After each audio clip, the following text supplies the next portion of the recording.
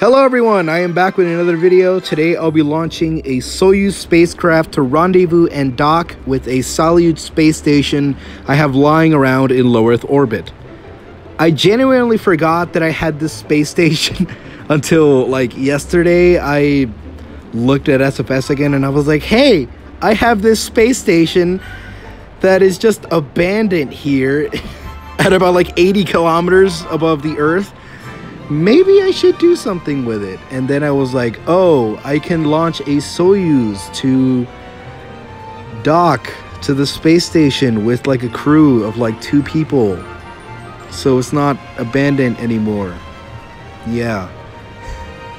Yeah, it's actually an excuse because I genuinely don't have anything I can do in this game anymore. Like seriously, I already went to Uranus, I already went to Jupiter, I already went to Saturn, I already went to Neptune.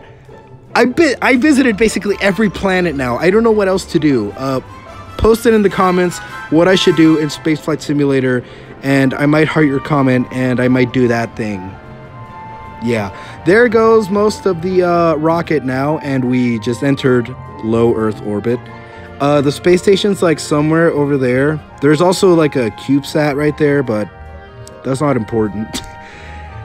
and time warping just to the other side to you know, increase my orbit, the height of my orbit by a little. And then I will just jettison the payload, which is the Soyuz spacecraft. There it goes. And I just had to check my staging real quick because I was like, wait. yeah, no, I didn't want the three modules to separate and have them stranded in orbit. So, yeah. And there we go, the reusable Soyuz third stage. I used it for the Lunar Soyuz. I'm going to use it for this one. Oh yeah, I, I changed the Lunar Soyuz. I changed the design. The rocket's still the same. Everything's still the same, but... I changed the color scheme of the Soyuz itself. So it's now white. The landing legs are smaller. And it it still has the three engines on the bottom, unlike the low Earth orbit Soyuz, which only has one. I I need to post a, a video like showing it so you guys know what I'm talking about. I also updated my N1 because it, it was very bad. The very first N1 I made was terrible. I I don't think I ever showed it in a video. Thank God I didn't. and we're now oh what was that? Excuse me. We're now entering Earth's atmosphere with the reusable Soyuz third stage and we're about to deploy the parachutes now. And I kind of I, I didn't know how far we were from the ground, so I kind of prematurely... No, actually, I deployed the landing legs a little too late. So, yeah, and now making orbital adjustments to make sure we rendezvous with the space station because this space station has been in orbit for like, I don't know, half a year now. It's, I, I I've had it in orbit for like a long time in terms of the game, but in real life, I'm guessing an equal amount of time. No, in game, uh, I've visited every planet since I put that space station. So let's just put it at about 80 years in low Earth orbit. I don't. Wow, that's a lot. Oh my god. I. How did atmospheric drag not destroy it now? Well, atmospheric drag doesn't, you know, exist in the game. And then right there, I realized that going at the, you know, uh,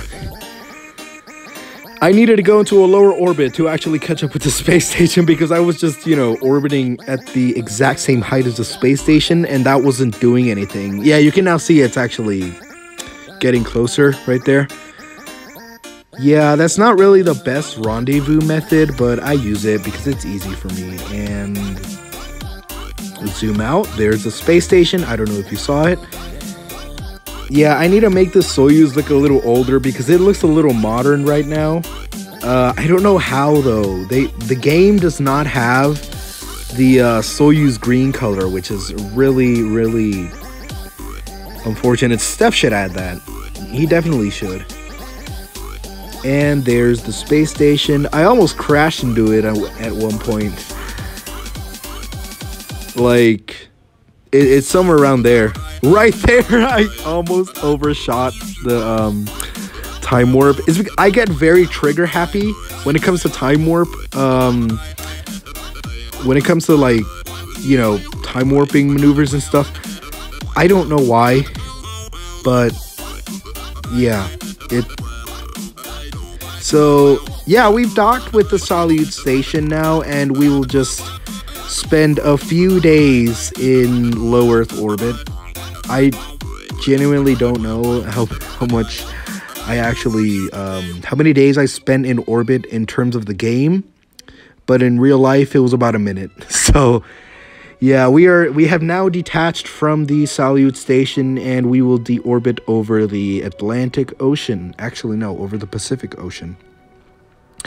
There it goes, making sure my periapsis makes it into the atmosphere and also making sure it goes low enough because I don't want to skip off the atmosphere and go off into space again. And there we go. To set our course. So those two modules will burn up. I have no heat damage on, so it doesn't matter. But yeah, without heat damage, I mean, without no heat damage, the rocket wouldn't work. The Soyuz wouldn't work.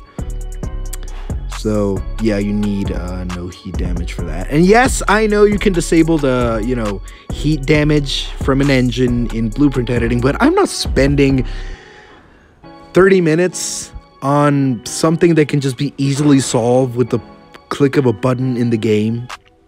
So yeah, I re-entered with 10% of fuel. I was really scared that I wasn't gonna have enough to fire the retro rockets, but yeah, I I did in the end.